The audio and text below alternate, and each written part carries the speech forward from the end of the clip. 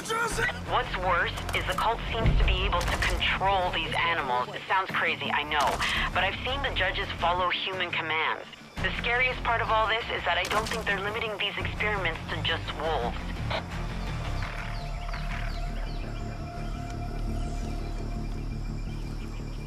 Somebody woke up on the wrong side of the bed this morning. Hoop nugget!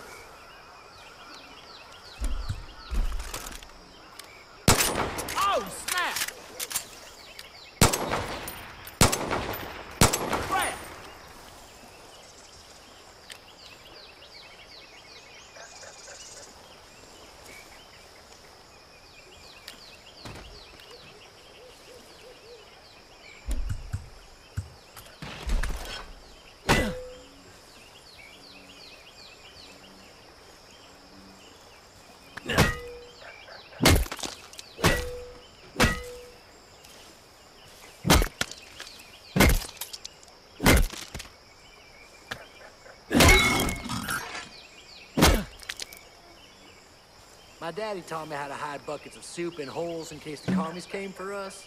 Never imagined a cult would come for the soup, though.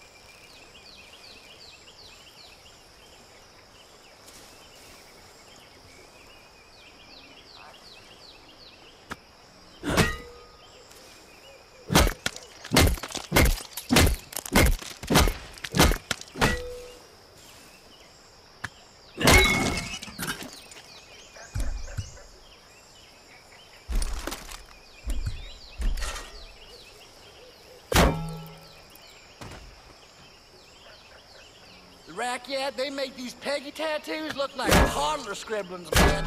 I don't even have any interest in getting cat brothers with none of these freaks.